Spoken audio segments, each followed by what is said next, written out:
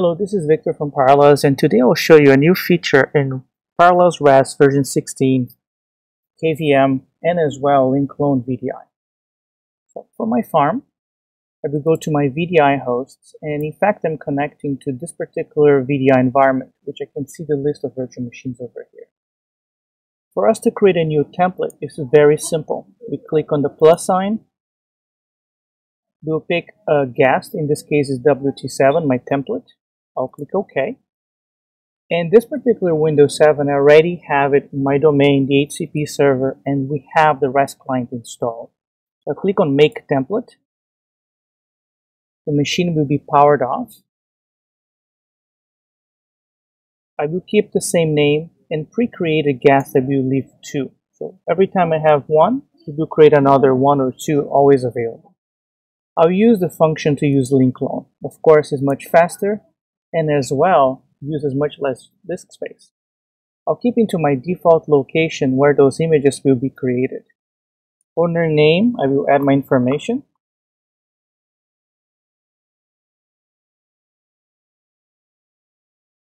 I will add it to my domain.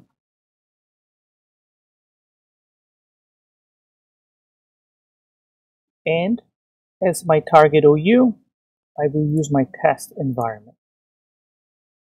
I'll click on next and I will use key management service. I have KMS, but if you have multiple keys, you can list them over here. Click next and finish.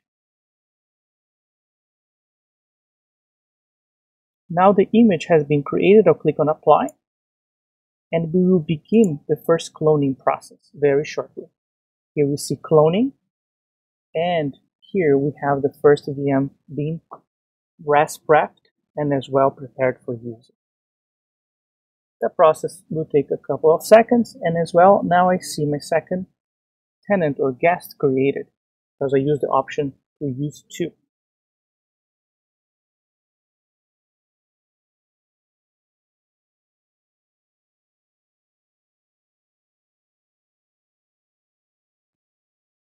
cloning is now completed and now I can come here to publishing